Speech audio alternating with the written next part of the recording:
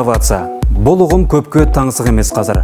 Астары жаңаруға түрленуге сайса керек. Өзгеріске жаны құмар жандар жаһанды жаңғыртып ақ жатыр. Жоқтан бар жасап барды барынша дамытатындар арадан табылады. Ойы озықтың озбасына болмайды осы күні. Өйткені ебін тапсаң тыңнан түрен саласың. Қарапайым шеңберді алайық. Оны дөңгелету ешкімнің ойына келмесе адамдардың әлі күнге жаяу жүруі бек мүмкін еді ғой. Тас жолда жүйіткуді үйреніп ек әуеде қалықтайтын болдық қазір. Тіпті аспанды артқа тастап ғарышқа да сапарлап қайттық. Мұның барлығы ізденістің тірнектеп жиған ілім мен білімнің әуелде айтқан инновацияның игілігі.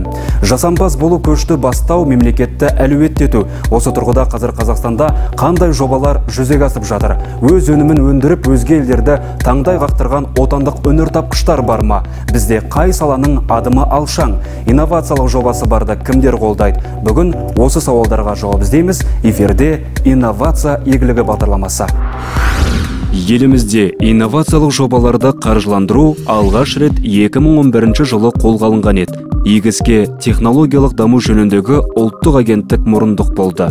Көш ілгері жүрген елдерден бір елі артта қалмас үшін іскерлерге еселеп ақша бөлінді. Небәрі 5 жылда 300-ден аса жоба қаржыландырылды. Қомақты қаражат текке кетпеді. Арасында сәлкініш жасаған жобалары бар.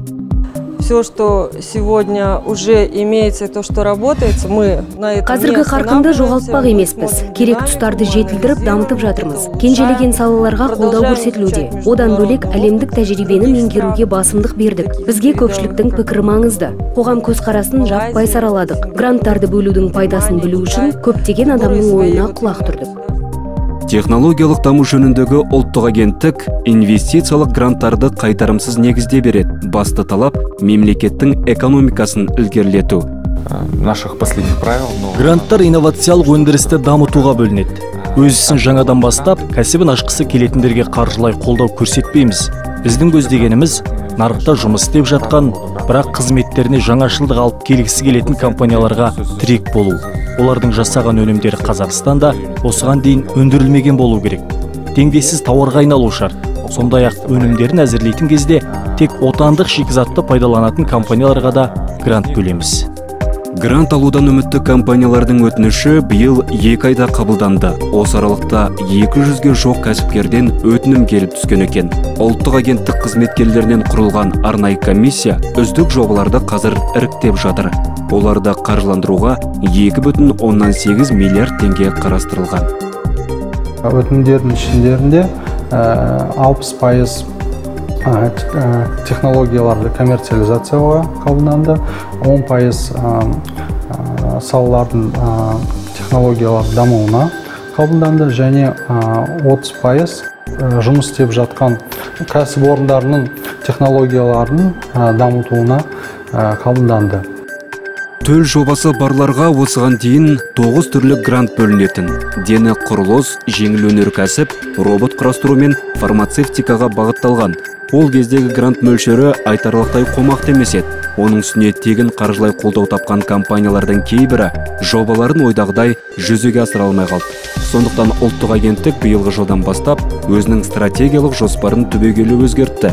Бұдан былай басымдық үш негізгі бағытқа беріледі. Әуелі шетелдік технологияны қолданыстағы кәсіпорындарға енгізу арқылы өнім сапасын арттыру қажет. Оған 400 миллион теңге көлемінде грант қарастырылған.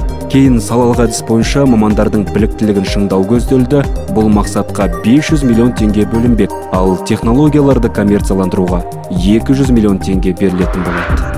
Әлемдегі жасампаз елдердің тізімі жыл сайын жарияланады. Ғаламдық инновация индексі бойынша қазір Қазақстан 127 мемлекеттің ішінде 78 орынға тұрақтаған екен. Технологиялық даму жөніндегі ұлттық агенттік осы қарқынды үдетуге бар күш жүгерін жұмсап жатыр. Өйткені инновация дамудың өзегі. Жаһандану үрдісі кезінде одан теріс айналып кету әсте мүмкін емес. Шикізатты шығарудан шалқып кететін мезет көнерген. Қазір ойдың аламаны идея таласы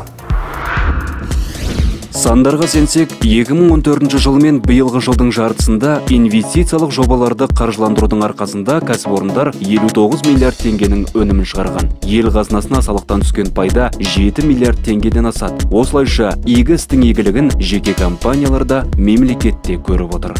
В разных отраслях, от фармацевтики до... агенттік тарапынан фармацевтикадан бастап ауыр өнеркәсіпке дейін қаржылай қолдау көрсетілді. Мәселен иннодент дейтін компанияға қажетті құрал жабдықтарын алып берді. Олар тіс жиегін жойып сүйекті табиғи жолмен өсіретін өнім әзірледі. Отандық нарыққа шығарып еді. Бірден сұранысқа ие болды. Кейін іргелес елдерден де қызығушылық артты. Қазір табиғи таза өнімді ресей мен украинаға тұрақты тасымалдайды. Одан бөлек фитохимияға арналған жоба сәтті жүзеге асты. Ойы озықтар тасада қалмау үшін тегін грант ұсынған агенттік кәсіпкерлерге қояр талапты да күшейтті.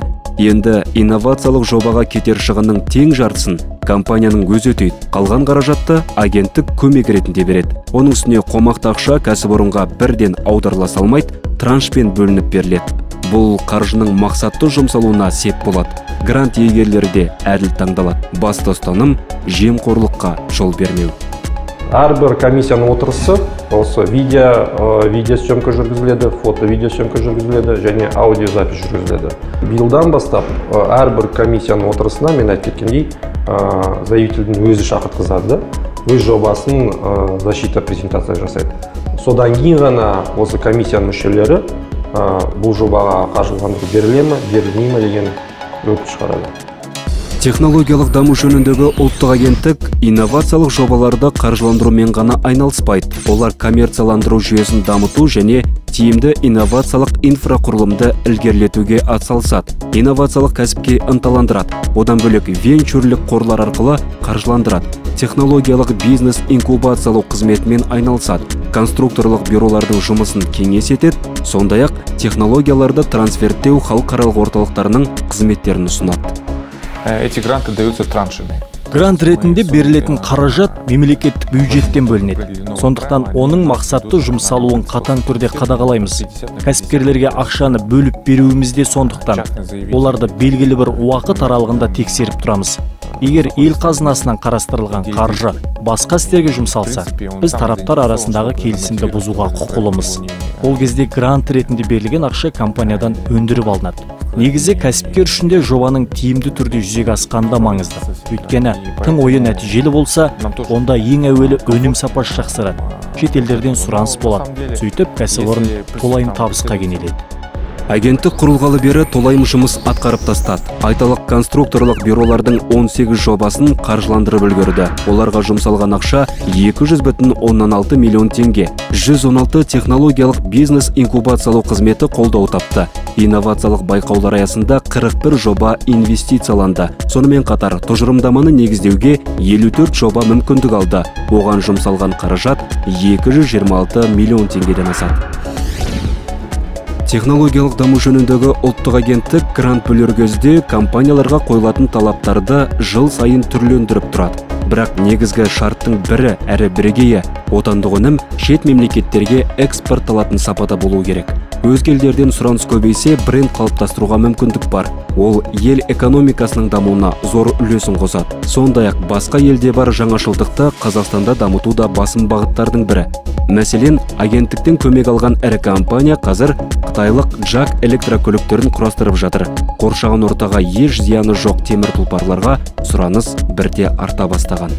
Электромобили казахстанской сборки. қазақстанда құрастырылып жатқан электрокөлікті қазір сынақтан өткізіп жүрмін. Жанармаймен жүретін машиналардан еш кем емес. Жуырда қуаты ұзаққа жететін батареяларды шығармақ. Ұлттық агенттік ол жобаны қаржыландырды. Осындай жаңашылдықтарды меңгеру арқылы өзге идеяларды қалыптастыруға болады. Жасампаздарды бір ортаға тоғыстырып тәжірибе алмастыру елімізде әзірге кең көлемде өте қойған жоқ. Технологиялық даму жөніндегі ұлттық агенттік мұны ескеріп биыл 28 қарашада алғаш рет алматы қаласында инновациялық форум ұйымдастыруды жоспарлап отыр. Ғалымдар мен өнертапқыштардың инновацияға ынтық кәсіпкерлердің басын қосатын ауқымды шарада тың ойлар айтылып экономика тірегі атанған инновацияның даму жолдары талқыланбақ.